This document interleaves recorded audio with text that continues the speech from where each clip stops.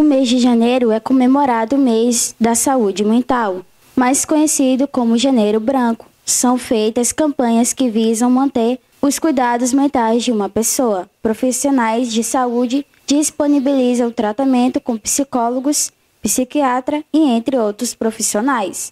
Caroline de Paula é enfermeira da UBS Areal e fala sobre os cuidados com a saúde mental e quais são os riscos que os transtornos e pânico podem causar. O Janeiro Branco visa chamar atenção para o cuidado com a saúde mental. Porque nós sabemos que hoje em dia, né, há muita correria, a gente trabalha, estuda, para quem tem filho, tem família, acaba que a gente, a gente não tira tempo para cuidar da nossa saúde mental. Então, o Janeiro Branco visa chamar atenção para isso. São casos que acontecem mais geralmente. É, quais são os tratamentos e o que, que os profissionais de saúde fazem para que possa melhorar a saúde da pessoa?